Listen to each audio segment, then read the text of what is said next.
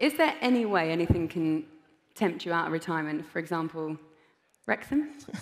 Come on. Um, no, I don't think so. I think um, I was more looking for a free round of golf off Rob. So, um, no, obviously, we'll, I'm sure we'll have a chat and a joke. But um, no, I'm, I'm quite happy where I am. Spending a lot of time with my kids, with my wife, um, time that I've lost so much of over, over the years being committed to football. So, um, yeah, just enjoying, enjoying family life and playing some golf.